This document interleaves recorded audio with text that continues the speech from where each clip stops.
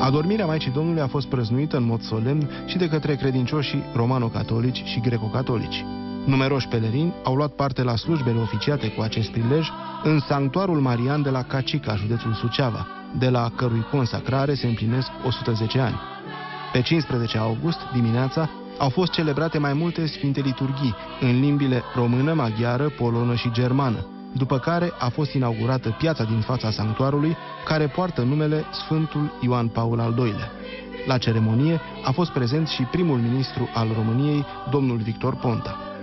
A urmat liturgia solemnă pontificală a hramului cu încoronarea icoanei Maicii Domnului, slujba fiind oficiată de către preasfinția sa Petru Gherghel, episcop de Iași, împreună cu alte fețe bisericești, printre concelebranți, numărându-se și în al preasfințitul Stanislav Novak, episcop de Cestohova, Polonia. Noi, de aici, din Cacica, ne unim cu toate neamurile care o înconjoară și cântă cu toată însuflețirea și credința. Binecuvântată ești tu între femei și binecuvântat este rodul trupului tău.